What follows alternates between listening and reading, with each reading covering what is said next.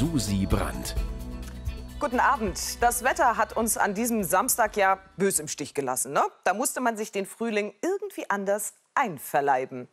Das Frühlingsgemüse schlechthin ist der Spargel. Ob mit Sauce Hollandaise oder brauner Butter oder hier einfach nur mit Meersalz, ist derzeit in aller Munde. Noch etwa sieben Wochen bis zum Johannistag geht diese Spargelsaison in Deutschland. Und diesen grünen Spargel hier, den muss man ja kaum schälen. Ein bisschen hier unten, aber ansonsten eigentlich immer ganz schick. Ähm, aber der weiße, der hat es ja manchmal ganz schön in sich. Das sehen wir an diesem Wochenende auch in Zerbst. Heute schon gewonnen hat diese Frau. Heike Bremer aus Wernigerode wurde heute zur Spitzenkandidatin der Landes-CDU für die Bundestagswahl gewählt. Und das mit satten 92 Prozent der Stimmen. Seit acht Jahren sitzt sie bereits im Bundestag und wird dort wohl auch weiter bleiben können. Dann aber wahrscheinlich als einzige CDU-Frau aus Sachsen-Anhalt. Alexander Budwig hat berichtet. In Sachsen-Anhalt verbindet die Straße der Romanik Dome, Burgen, Klöster und Kirchen. Wie wird die Straße attraktiver für Besucher?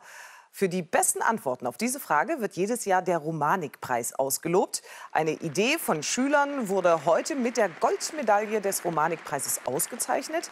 Sie zeigt, dass Kirchengeschichte so richtig spannend ist. Wirtschaftsminister Armin Willingmann, der freute sich mit den Preisträgern im Kloster Jericho.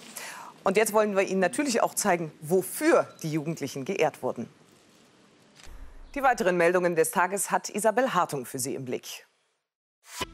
Nur acht Jahre brauchten Mönche im 12. Jahrhundert, um das Kloster Posa bei Zeitz fertigzustellen. Nach einer bewegten Geschichte wurde es 400 Jahre allerdings später aufgelöst und abgetragen. Vor ein paar Jahren haben sich engagierte junge Leute der alten Mauern angenommen, um ihnen neues Leben einzuhauchen. Und seitdem sind Kunst und Kultur hier nicht mehr wegzudenken. Auch ein Kinobesuch ja, läuft hier anders als gewohnt, wie unser Reporter Tino Wiemeyer bei seiner Erkundungstour erfahren hat. Stell dir mal vor, da treten erstmal die Hälfte nicht mehr mit. Flacker, flacker, flacker. Ja. Also nicht nur unser Kollege Tino Wiemeyer ist heute richtig ins Schwitzen gekommen.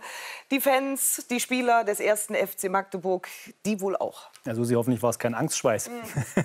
Denn der FCM ist ja bekanntermaßen auf der Zielgeraden der Saison 2000 Kilometer, da bin ich schon schlagfertig, wenn ich es nur höre.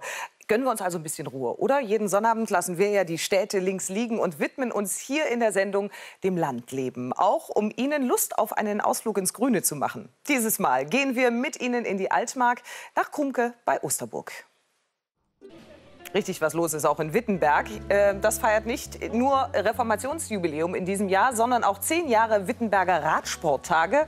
In diesem Jahr ist dort die ehemalige Radsportlegende Jan Ulrich in die Pedale getreten. Der Mann, der nach seinem Triumph bei der Tour de France im Jahr 1997 eine wahre Radsport-Euphorie in Deutschland ausgelöst hatte. Aber durch Dopinggeständnis und private Verfehlungen in die negativen Schlagzeilen rutschte. Doch von seiner Zugkraft hat Ulrich über die vielen Jahre nichts eingebüßt. Und jetzt gucken wir noch ganz kurz nach Harsleben bei Halberstadt. Mit 2350 Einwohnern ist Harsleben das größte Dorf im Landkreis Harz. Deshalb ist immer was los und vor allem ist Musik drin. Wie dieses Derby gegen den Ortsrivalen ausgeht und wie liebevoll Harsleben seine Traditionen pflegt, das können Sie dann morgen schon ab 9 Uhr hier im MDR Fernsehen erleben, wenn es wieder heißt, unser Dorf hat Wochenende. Und wir verabschieden Sie jetzt auch ins Wochenende und wünschen Ihnen einen schönen Abend. Tschüss, bis morgen.